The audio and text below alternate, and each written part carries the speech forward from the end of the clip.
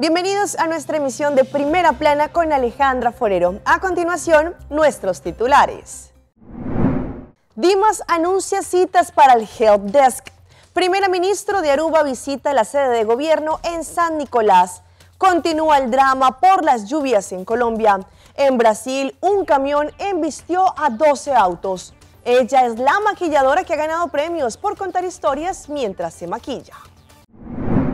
A esta hora y como todos los días, me place saludar a nuestros televidentes dándoles como siempre una cordial bienvenida a nuestra emisión de Primera Plana con Alejandra Forero. Con un grato placer les saludamos como todos los días, esperando que ustedes que hasta ahora se encuentran en sintonía hayan tenido un excelente martes. Comenzamos como siempre con noticias locales y en esta oportunidad con las autoridades policiales, quienes tuvieron que controlar a un grupo de jovencitos quienes estarían lanzándole piedras a otro auto. Sin embargo, al momento de hacer la requisa, las autoridades policiales encontraron armas blancas y también un grinder.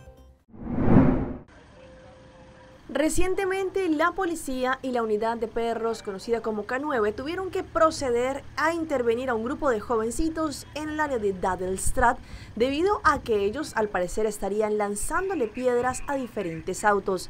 Al llegar las autoridades lograron controlar esta situación de una forma rápida, para lo cual intervinieron este vehículo Toyota Yaris de color blanco en donde los jóvenes al parecer lo estaban utilizando para trasladarse de un lugar a otro. Luego los jóvenes pudieron seguir su camino, los agentes policiales se limitaron a llamarles la atención, sin embargo la policía también requisó este vehículo y durante la requisa se encontró con dos cuchillos, es decir, dos armas blancas y también grinder. La policía tomó esto en embargo y de inmediato tomó los datos de estos jovencitos. Entre tanto, el departamento de Dimas tiene una importante información para todos sus clientes, quienes desde ya pueden hacer las citas para ser atendidos en el Help Desk. La intención es que si tienen cualquier duda frente, por ejemplo, documentos de pago, carta de reentry o demás, podrán desde ya hacer la cita y ser recibidos personalmente. El departamento de Dimas tiene importante información que sus clientes deben tener en cuenta sobre el calendario para hacer una cita para el Help Desk y de esta manera una vez más está disponible a través de la página web de Dimas. Desde hoy los clientes podrán comenzar a apartar su cita para el Help Desk, lo que significa que desde este 23 de enero las personas que tienen una cita reservada y confirmada para el servicio de Help Desk serán atendidos personalmente en las oficinas de Dimas. Los demás servicios continuarán a través del sistema de e-Help Desk que se encuentra en el sitio web. Además, también se informa que la entrega de petición de permisos o declaración continuará a través de los formularios online o a través del portal para la entrega de las peticiones. Utilizando el calendario para trabajar una cita para el Help Desk, el cliente será atendido en el horario confirmado y con cualquier pregunta sobre, por ejemplo, el estatus de su petición al momento en que no recibió la orden de pago, petición de carta de reentrada, corrección de información, fecha de vencimiento del permiso libre, entre otros. ¿Cómo el cliente podrá hacer una cita? Simplemente sube a www.dimasaruba.aw, elige el idioma de preferencia, después de ahí realiza una cita para el servicio de asistencia conocido como Help Desk, después elige la fecha y el horario deseado, llena el formulario completamente, controla la dirección de correo electrónico y el número de celular y después de aguardar deben controlar y confirmar a través de darle clic al link que, Dimas le envía a través del correo electrónico. Se agradece que los clientes tomen nota de este comunicado para evitar cualquier inconveniente. En otra información, ¿ustedes recuerdan cuáles son los lugares adecuados que indicó recientemente el ministro de Naturaleza, Ursel Arens, para poder llevar los desperdicios? Hoy hablaremos de los desperdicios, por ejemplo, del material de construcción. ¿Qué lugares se puede llevar y cómo se puede seleccionar estos desperdicios? Los desperdicios de construcción son desperdicios que se acumulan, por ejemplo, en los lugares en donde están desarrollando cualquier obra, cualquier construcción o también cualquier demolición. Ejemplo de esto es, por ejemplo, lo que se conoce como cemento, betón, bloque, eh, piedra, arena, puertas, ventanas, palos o diferente tipo de material que se conoce como desechos de construcción o también podrían ser metales, papel, papel plástico, entre otros. Para Para poder procesar cada tipo de desperdicio de una forma responsable, por eso se quiere seguir motivando para que puedan hacer la separación de este tipo de desperdicios. Si es un tipo de demolición, el primer paso que tienen que hacer es constatar si tiene asbesto presente. Y si es así, se pueden acercar a ATCO antes para comenzar a hacer el trabajo de demolición. Si constatan que no tiene asbesto presente, las compañías podrán elegir para continuar con la entrega del desperdicio de construcción de una manera mixta combinada, lo que significa que no deben separar por categoría de sucio a diferentes sitios de construcción o demolición. Los desperdicios de construcción combinado sin asbesto podrán ser entregados en Ecotech Frison. Este tiene sus consecuencias que habrá diferencia de precio por cada tonelada con la entrega y las compañías que podrán elegir para ahorrar dinero y separar también los desperdicios de construcción o demolición para poder entregar cemento, bloque de cemento, arena, pavers, clinkers, entre otros gratis, lo podrán hacer en Apex para que sea procesado. Pueden entregar desperdicios de metal en Daltra, Envey o en ICR Services y recibir dinero por esta entrega. Podrán también entregar desperdicios orgánicos de matas, palos o palet blanco en Johnson o en Ecotech Frison. Podrán entregar otro tipo de desperdicio que no sea reciclable como por ejemplo baños que están quebrados, tejas, bolsas de cemento en bultos en Ecotech Frison que tendrá algún gasto. Para más información podrán visitar www.trashtocash.org.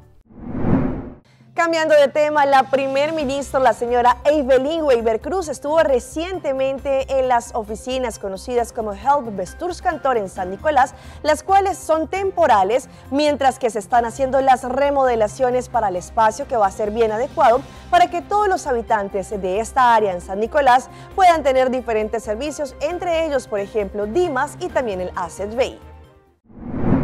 Como ya se había conocido desde el pasado 31 de octubre del año anterior, tuvieron que cerrar la localidad anterior del Health Besturs Cantor en San Nicolás porque no estaba más adecuado ni para los clientes ni tampoco para las personas que trabajan allí. Mientras tanto, el gobierno comenzó a trabajar para poder hacer esta reapertura en el HBK en San Nicolás, en otra localidad, y hoy es una realidad. La primer ministra, la señora Evelyn Weber Cruz, durante una conferencia de prensa explicó el proceso encaminado y los trabajos que se llevaron a cabo para la reapertura de este Help Besturs Cantor en San Nicolás. La semana abrió y los visitantes allí en este lugar recibieron el servicio en un establecimiento más nuevo, moderno y que cumple con las normas y estándares necesarios. La mandataria explicó que para llegar a esto no fue fácil por motivos del proceso de la mudanza de un departamento de gobierno que toma mucho tiempo, sin embargo, en este caso solo duró dos meses y medio. En este también periodo, los trabajadores eh, del Helbersturs Cantor San Nicolás estuvieron trabajando en Sabaneta. Sin embargo, se espera que una vez el edificio esté remodelado, la idea es que se busque ubicar más departamentos, entre ellos, por ejemplo, Social Zaken, Dimas, Asset Bay, Enseñanza Pampleo, entre otros.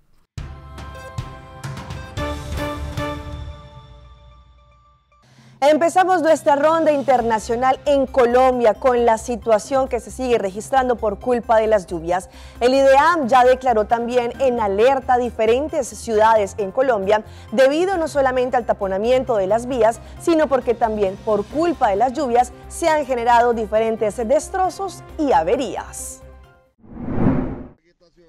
La temporada de lluvias en Colombia se ha intensificado. Se esperan fuertes lluvias en la región del Pacífico, en donde ocurrió la emergencia en el departamento del Cauca por deslizamiento de tierras, también en la región andina y amazónica. Las alertas están encendidas. Hay probabilidad de ocurrencia de lluvias y las de mayor intensidad suelen presentarse en la región pacífica. Hacia el día miércoles o jueves tendremos lluvias significativas, especialmente hacia el centro de la región del departamento de Cauca y algunas lluvias muy puntuales que suelen presentarse en las tardes en sectores de la región andina, hablando del occidente de Tolima, sectores del eje cafetero occidente y sur de Antioquia. En Cundinamarca hay 20 municipios afectados por las lluvias. En Gachancipá, en la vereda San Bartolomé, sus habitantes fueron testigos de la tormenta eléctrica, las intensas lluvias y la granizada que cayó en las últimas horas. Las autoridades municipales y organismos de socorro se encuentran atendiendo a los damnificados. Ya en afectaciones todo el tema agropecuario estamos buscando es reubicar en este caso los semovientes, puesto que este pasto eh, ya congelado obviamente se va a empezar a secar y a quemar. Son más de 80 hectáreas que tenemos en afectación propiamente en esta zona agropecuaria. Por la razón propiamente del granizo, ya en la zona urbana pues hay taponamiento en las alcantarillas. En coordinación con el Consejo Municipal para la Gestión de Riesgo estamos haciendo toda la evaluación de daños y análisis de necesidades, lo que nos permitirá llegar de manera oportuna a las familias afectadas. El IDEAM informó además que las lluvias en todo el país se extenderán por los tres primeros meses del año. Las alertas por deslizamiento de tierra se siguen presentando, en especial en la región pacífica, amazónica y andina, en donde en las últimas horas se presentó la caída de rocas en la vía Bogotá-Choachí, en el kilómetro 5, sobre un vehículo particular, dejando una persona lesionada. La vía está cerrada y los bomberos están atendiendo la situación. Y es que no solamente el mal temporal se vive en Colombia, sino que también en Ecuador en este momento han declarado estado de emergencia por los desbordamientos de diferentes quebradas que han afectado a la comunidad. Las calles del cantón Nangaritza amanecieron cubiertas de lodo este domingo. El desbordamiento de la quebrada grande de Guaycimi se llevó todo a su paso. El agua, piedras y tierra ingresaron a las viviendas y negocios de la zona, como pasó hace dos años. Después de recorrer los sitios afectados, el gobierno local decidió declarar en emergencia el cantón y, según señalan, tienen identificado el problema.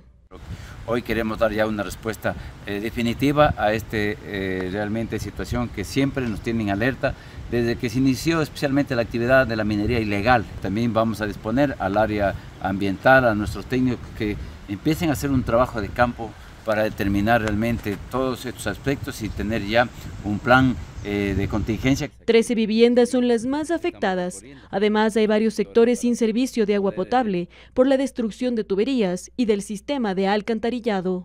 Es necesario y se ha conversado con la máxima autoridad de que se tomen las acciones necesarias y sobre todo la declaratoria de emergencia. Es la segunda vez que Florencio Jiménez pierde sus animales. Se ha dedicado a criar tilapias en ocho peceras que hoy están llenas de lodo. Aquí la pérdida mía es eh, solamente puro pescado, nomás eh, que son ocho peceras. Fueron que tenía la importancia de 15 mil dólares. La alcaldía de Nangaritza inició con los trabajos de limpieza de vías y zonas afectadas. Nos vamos ahora a Curitiba, en Brasil, con un camión que embistió cerca de 12 vehículos en una de las avenidas principales. Todo esto quedó registrado en diferentes cámaras de seguridad de esta avenida. Según lo que indicaron, al parecer, el hombre que venía manejando el camión estaría bajo los efectos de las drogas. El conductor del camión que embistió a 12 vehículos en Curitiba, en Brasil, confesó durante su testimonio haber utilizado droga sintética y haber bebido cerveza antes de viajar allí en Campos Gerais, a la capital, según lo que indicó. Nilson Pedro, de 35 años, fue detenido en Fraganti tras recorrer unos 130 kilómetros a alta velocidad y realizar peligrosas maniobras en la carretera y también en las calles de Curitiba. El abogado defensor dijo que el hombre usó drogas para terminar su viaje porque había estado despierto durante muchas horas. También resaltó que no tenía intención de lastimar a nadie. Dos personas resultaron heridas, según la policía. Uno de ellos tuvo que ser trasladado a un hospital por lesiones en las piernas y fue dado de alta el hombre ya ha prestado declaración a la policía. Otros testigos y personas cuyos vehículos fueron golpeados deberán ser escuchados en los próximos días, según también una mujer a quien le chocaron su vehículo frente a una iglesia cuando salía de su casa para ir a trabajar, dijo que el accidente ocurrió cuando el conductor del camión se fue en contra del carril del bus. Nos vamos ahora a Colombia, en donde, aunque parezca difícil de creer en lugares como por ejemplo Nariño, muy cerca a Pasto, allí tienen escasez de la gasolina y los conductores tienen que hacer filas de horas para poder conseguir el combustible. Y no solamente se está esto remontando a la gasolina, sino que también no han encontrado suficientes frutas y verduras para abastecer esta ciudad filas interminables en solo seis estaciones de combustible que a esta hora ya tienen casi agotada la reserva de gasolina. Y estoy desde el viernes en la noche, a la madrugada. Llegué como a las 3 de la mañana aquí a la corporación. Todo el día no alcancé a llegar, llegué casi en los primeros puestos. Dijeron se acabó. Me quedé la noche y nos dijeron pásense al otro lado que de pronto ellos les venden. Estamos desde todo el fin de semana trasnochando aquí. 32 horas. ¿Desde el sábado a qué hora?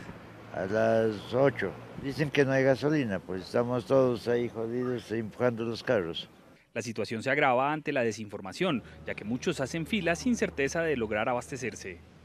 Está dura la situación acá, hay mucho carro, mucho en todas las bombas y dicen que no hay gasolina, pero los comentarios dicen que sí hay gasolina y sino que la administradora si da la orden, nos venden. Si no, Perdimos la trasnochada otra vez. Que supuestamente que hay una reserva del 10%, dicen, y que si no pasan, pues que lo cogen supuestamente para el servicio público, lo que es la policía, la policía el ejército y eso.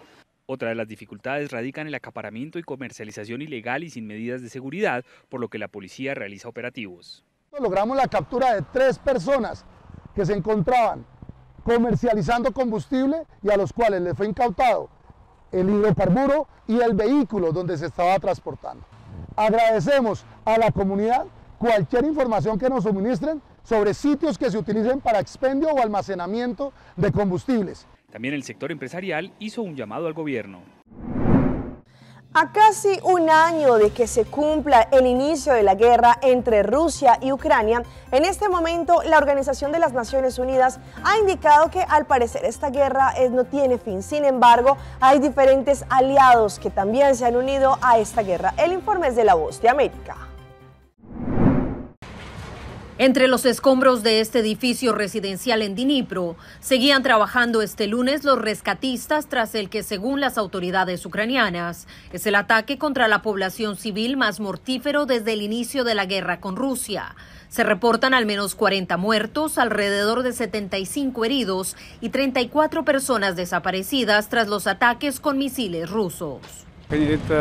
Esa niña que sobrevivió bajo los escombros es compañera de clases de nuestro hijo. Sus padres aparentemente murieron. A este ataque se suma el de Kherson, donde un hospital, un centro para niños discapacitados y un edificio residencial fueron destruidos. A pesar de la evidencia, el gobierno ruso lo niega.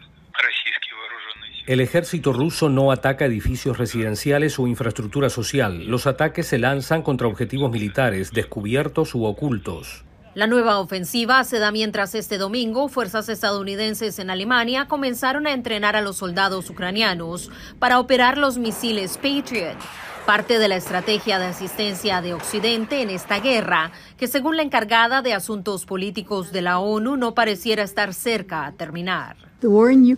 La guerra en Ucrania se acerca a su primer aniversario sin que se vislumbre el fin de la lucha o el sufrimiento. Durante la temporada navideña, las fuerzas de la Federación Rusa continuaron sus ataques en ciudades clave de Ucrania. Nos vamos ahora para Río Negro, en Medellín, Colombia, en donde cerca de 70 gallinas tristemente ponedoras de huevos tristemente perdieron la vida al momento en que un globo que estaba relleno de pirotecnia estalló muy cerca de ellas y según lo que indicó su dueña, todas ellas fallecieron de un infarto. Los habitantes de la vereda Rancherías en Río Negro, Antioquia, amanecieron de luto. El cacareo de las aves de la familia Arango dejó de resonar luego de que 70 gallinas ponedoras se murieran del susto por culpa de un globo. Por tanta pólvora que el globo tenía, la mayoría de las gallinas se infartaron y se me murieron. Las gallinas no se las comió un perro y las gallinas estaban súper aliviadas. Durante todo diciembre, Jennifer le puso música a las aves para evitarles sobresaltos por cuenta de la pólvora, pero bajó la guardia sin imaginar lo que pasaría en enero. Es demasiado frustrante para mí porque yo tengo tres hijos y de esto dependía económicamente, de cierta manera, también para comprarle los útiles del colegio que ya los niños entraron a estudiar. Las gallinas que murieron ponían alrededor de 2.000 huevos cada mes y por cada canasta los habitantes del oriente antioqueño pagaban alrededor de 25 mil pesos. Ahora Jennifer y su familia claman para que quienes elevaron el globo sin pensar en las consecuencias los ayuden a encontrar una nueva fuente de empleo. Vamos a nuestra pausa comercial, pero ya regresamos con más información. ¿Será verdad la historia de este ladrón principiante? aceitar, tá lança seu serviço não com mais hobby, hoje data mês. Mas data com aceitar, chel chel vacilar, mandi por TikTok. Una cubota conexão non-stop, hoje data me no stop. Mas data com aceitar, mas como por imaginar, é wegi data da domina, conectar. Mas data, hybrid, postpaid, prepaid, hobby, na aceitar.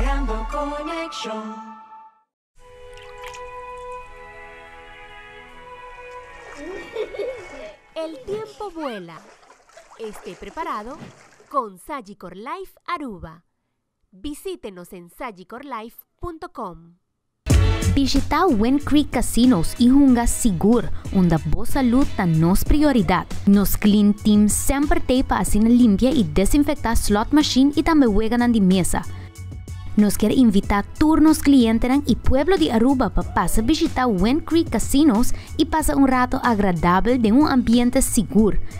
Sin novidade nos Wind Creek Casino app, onde você pode jogar online completamente grátis e receber prêmio na mané free play para dentro do casino. Visita-nos ao mês e encontrar bom momento ganador.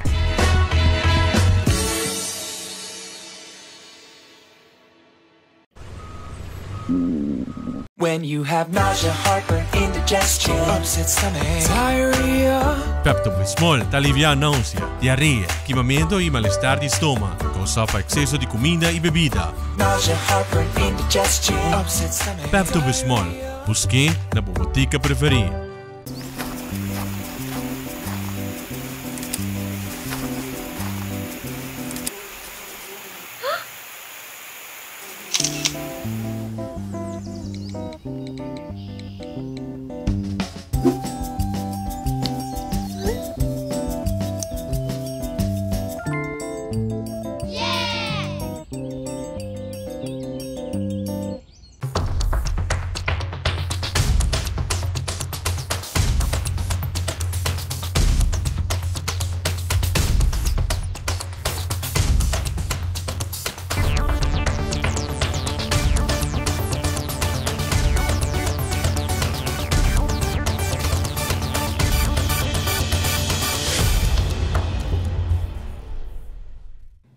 Con más información a través de Primera Plana. Vean estas imágenes que se han viralizado en las últimas horas en donde muestran a un supuesto ladrón principiante novato que se subió a un bus del servicio público a atentar en contra de los, las personas, los usuarios que se encontraban dentro del bus. Sin embargo, no se sabe si este video es viral o si de pronto se trata de algún reto de las redes sociales.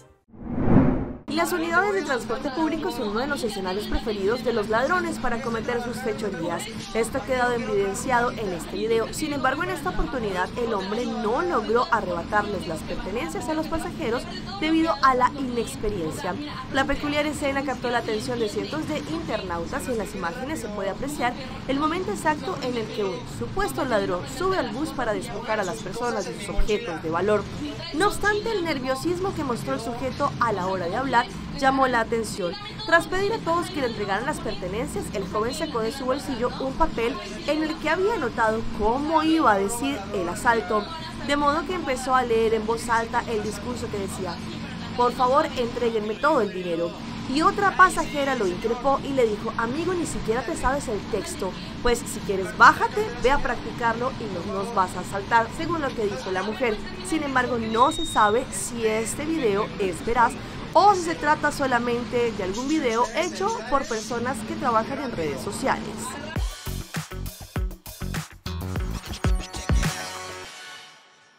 Y continuamos con más imágenes que se viralizan a esta hora y no van a querer el tremendo susto que tuvo una persona que se encontraba en su espacio laboral cuando su gatito esta llegó en el hocico con un ratón que había cazado. Sin embargo, el roedor se le escapa y se le sube en el cuerpo a esta persona. Las imágenes son increíbles.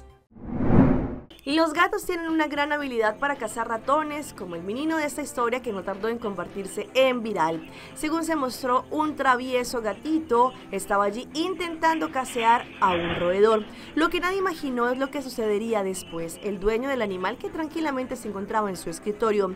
Un ratón hizo pasar el susto de su vida a un hombre que laboraba y estaba tranquilo. Como se vio en la publicación que tiene más de 36 millones de seguidores, el felino llegaba al lugar con un ratón en la boca. Segundos después, el roedor se escapó y aprovechó que el hombre tenía colocado allí un buzo para meterse en el interior. El sujeto no sabía qué es lo que estaba sucediendo hasta que sintió unas patitas que le caminaban por la espalda. De inmediato se paró y al sacarse el abrigo entró en pánico al descubrir que el amigo se encontraba en la parte del cuello escalando por su espalda. El individuo comenzó a sacudirse aterrado hasta que logró que esta rata cayera. Y si hablamos de animales, hablamos de imágenes, ¿qué tal la reacción de este lobito marino que muy consentidor llegó hasta donde unos bañistas que se encontraban en la playa? TikTok se ha convertido en una fuente de videos que se difunden masivamente alrededor del mundo. En esta oportunidad sucedió con un material audiovisual que se ha hecho viral. Allí se puede apreciar a un joven disfrutando de un día de playa, pero acompañado de un curioso lobo marino. Este animal se mostró manso e inofensivo alrededor del bañista, quien no se movió pese a la ternura que detonaba. El lobito animal allí lo olió, luego se recostó sobre los brazos y el pecho del joven. Sin embargo, no era el único mamífero cerca del hombre. Otro lobo marino yacía durmiendo sobre la toalla del hombre muy cerquita a él. En video dejó ver también que en la misma orilla otro grupo de animales marinos reposaba sin tener miedo de los que estaban allí.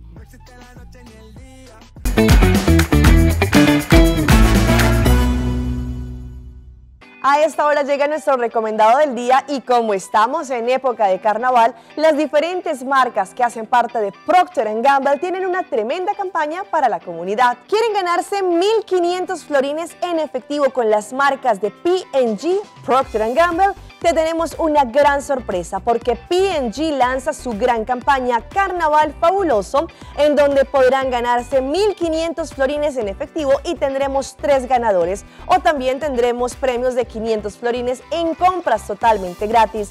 Son más de 30 marcas participantes y también estas marcas y productos hacen tu vida más fácil. Recuerden, esta promoción es válida en todos los supermercados y alrededor de la isla.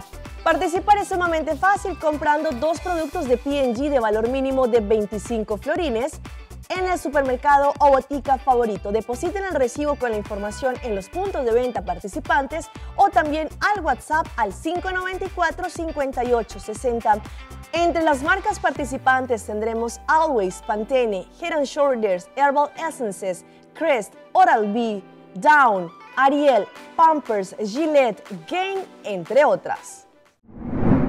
Y los dejo con esta increíble historia de una maquilladora que se ha vuelto viral en redes sociales como TikTok y YouTube, pues se trata de una joven de 24 años que ha recibido un sinfín de premios como se maquilla y mientras que se maquilla está contando historias de terror. En redes sociales podemos encontrar varios influencers de maquillaje, sin embargo, hay una que se diferencia de todos y es que cuenta historias de terror mientras que se maquilla. Se trata de Doris Jocelyn, quien ganó popularidad en diferentes plataformas. Allí Doris tiene 26 años, es una influencer mexicana apasionada por el maquillaje.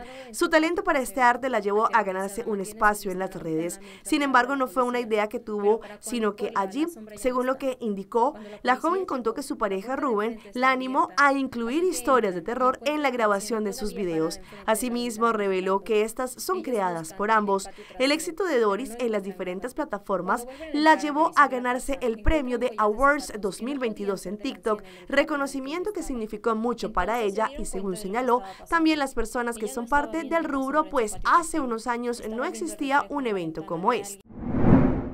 Hasta aquí nuestra información por el día de hoy. De parte de todo nuestro equipo de trabajo, les agradecemos como siempre por su fiel sintonía. Recuerde que en redes sociales ustedes nos pueden seguir y estar al tanto de todos los hechos que ocurren en nuestra isla. Continúen con la buena programación en Teleruba. Nos vemos mañana en una nueva oportunidad.